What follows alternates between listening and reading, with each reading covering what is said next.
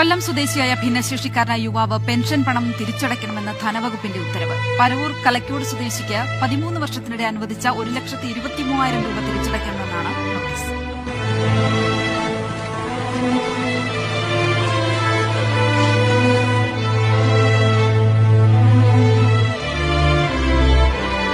സർക്കാർ ഈ ഇങ്ങനെയുള്ള കുഞ്ഞുങ്ങളുടെ ഈ നാക്കടക്ക പ്രാണിയാണ്.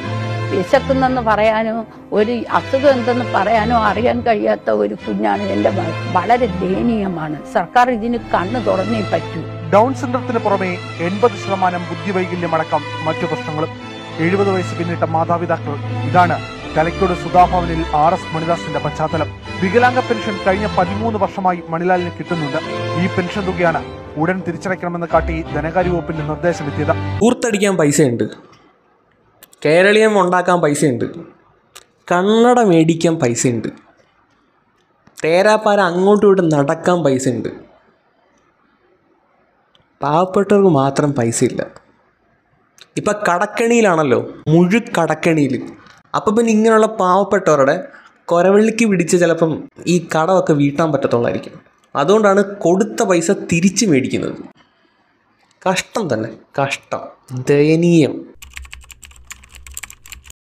ആ, സർക്കാരിന്റെ തീരുമാനം എന്ത് നിയമത്തിന്റെ പശ്ചാത്തലത്തിലാണെന്ന് എനിക്കറിയത്തില്ല. പക്ഷേ സർക്കാർ അങ്ങനെ ആവശ്യപ്പെടുന്നു. അത് തിരിച്ചടയ്ക്കേണ്ടത് ആ അമ്മയുടെ ബാധ്യതയായി മാറുന്നു. അത് അവരുടെ ഭാരമായി മാറുന്നു. ഇങ്ങനെയുള്ള ഭാരം പലപ്പോഴും നമുക്ക് സമൂഹത്തിൽ എന്തൊക്കെ തരത്തിലുള്ള ആഘാതങ്ങളാണ് സൃഷ്ടിച്ചിട്ടുള്ളതെന്ന് നമുക്ക് നേരത്തെ ഒരുപാട് രേഖകൾ നമ്മുടെ മുമ്പിൽ ചരിത്രത്തിന്റെ രൂപത്തിലുണ്ട്. അപ്പൊ അങ്ങനെയുള്ള അഹിതങ്ങൾക്കൊന്നും വഴിവെക്കാതെ ഇത് പരിഹരിക്കാൻ വേണ്ടി ആ അമ്മയ്ക്ക് സർക്കാർ അത് തിരിച്ചു കൊടുക്കുമെങ്കിൽ അത് കൊടുത്തോട്ടെ. പക്ഷെ അത് തിരിച്ചടയ്ക്കാനുള്ള ഒരു കൈത്താങ് അല്ലെങ്കിൽ ഒരു സഹായം എന്നതിനെ പറയാനൊക്കത്തില്ല ആ അമ്മയുടെ അവസ്ഥയൊക്കെ ഞാൻ കണ്ടതാണ്. ഞാനിത് ഉച്ചയ്ക്ക് ഒരു പതിനൊന്ന് മണിയോടുകൂടി അറിയുകയും ഞാൻ അപ്പൊ തന്നെ വീട്ടിൽ വിളിച്ച് രാധികയോട് പറഞ്ഞിട്ടുണ്ട് എനിക്ക് തോന്നുന്നത് ഏതാണ്ട് ഈ സമയത്ത് ആ ഒരു ലക്ഷം രൂപ അമ്മയുടെ അക്കൗണ്ടിൽ എത്തിയിട്ടുണ്ടാവും എന്നാണ് എനിക്ക് തോന്നുന്നത്. ഞാനൊരു അര മണിക്കൂർ മുമ്പ് രാധികയെ വിളിച്ച് പറഞ്ഞു കഴിഞ്ഞു. അപ്പൊ അതെത്തും ഇനിയപ്പോ ഒരു പത്ത് വർഷത്തേക്ക് കൂടി ഈ പെൻഷന്റെ രൂപത്തിൽ ഒരു ലക്ഷം രൂപ അമ്മയ്ക്ക് ചെല്ലേണ്ടതുണ്ടെങ്കിൽ അതും ഞാൻ ഇപ്പൊ നൽകാൻ തയ്യാറാണ്. നിങ്ങൾ എന്നെ അഡ്വൈസ് ചെയ്താൽ മതി.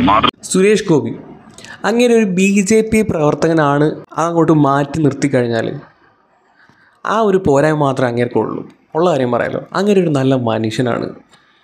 ഇതിപ്പം ഇലക്ഷൻ ജയിക്കാൻ വേണ്ടിയിട്ടാണ് ആണ് ചെയ്യുന്നതെന്ന് തന്നെ വെച്ചോ. പക്ഷെ ചെയ്തത് നല്ല കാര്യമാണോ? നമ്മളത് അംഗീകരിക്കാൻ വേണം. ഇത് അങ്ങേരുടെ മുതലെടുപ്പിന് വേണ്ടിയിട്ടാണ് അങ്ങേര് ചെയ്യുന്നതെങ്കിൽ കൂടിയും ചെയ്യുന്നത് നല്ല കാര്യമല്ലേ? നല്ല കാര്യം. ഒരു ബി ജെ പി പ്രവർത്തകൻ എന്നല്ലാതെ നിങ്ങൾ അങ്ങേരെ ഒന്ന് മാറ്റി നിർത്തി ചിന്തിച്ച് നോക്കി കഴിഞ്ഞാൽ അങ്ങേര് ഒരു നല്ലൊരു മനുഷ്യനാണ്. അങ്ങേര് നമ്മുടെ നാട്ടിൽ അങ്ങ് കൊമ്പത്തിരിക്കുന്ന പല ഏമാമാരും ചെയ്യാത്ത ചെയ്യാൻ മടിക്കുന്ന പല കാര്യങ്ങളും അങ്ങേര് ചെയ്തിട്ടുണ്ട്. സോ ഈ ഒരു കാര്യത്തിലും അങ്ങേര് ചെയ്ത കാര്യം വളരെ വളരെ നല്ല കാര്യമാണ്. കൂടുതലൊന്നും പറയാനില്ല.